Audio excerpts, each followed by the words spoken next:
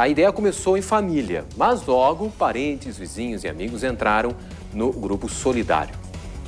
Uma vez por semana, eles alimentam e distribuem agasalhos doados para moradores em situação de rua em Porto Alegre. O fogão industrial recém-doado facilita o cozimento de quilos de massa, salsicha e feijão. Da pequena cozinha da família, devem sair mais de 100 marmitas. A preparação começou cedo, com a dona Rosane no comando. Chega o outro pessoal, começa a me ajudar a cortar, picar, cebola, salsicha. Se eu, às vezes a gente faz arroz com galinha ou massa com galinha, daí a galinha, né? Daí... E assim a gente vai, né? Parentes, vizinhos e amigos todo mundo se envolve. Roupas arrecadadas também são separadas para doação. A ideia de ajudar moradores de rua era um desejo antigo da família.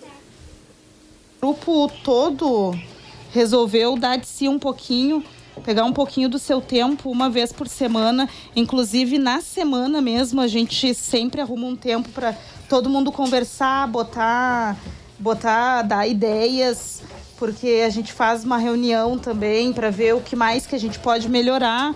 Gente, é solidariedade, todo mundo querendo ajudar. Marmitas cheias, café quente nas garrafas, tudo pronto para a saída. As crianças vão participar da entrega das refeições. E eu gosto de ver eles felizes e eu gosto também de ajudar muito e de ir ver eles, uh, rir, conversar. Em carreata, o grupo segue em direção ao centro da capital, onde homens e mulheres se preparam para passar mais uma madrugada na rua. Os agasalhos são logo recolhidos.